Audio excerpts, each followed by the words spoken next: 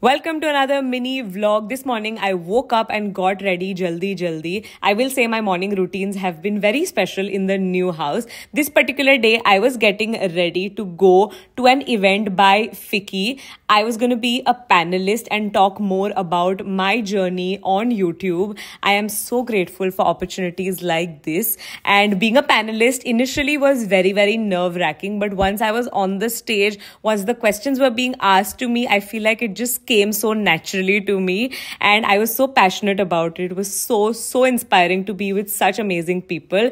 After that, I went and treated myself to some pani puri and vada pav. And then also ended up going to a really fancy restaurant which is called Laila. It's a new restaurant. The food was amazing. Came home and cuddled with Kashish. Off to sleep we go.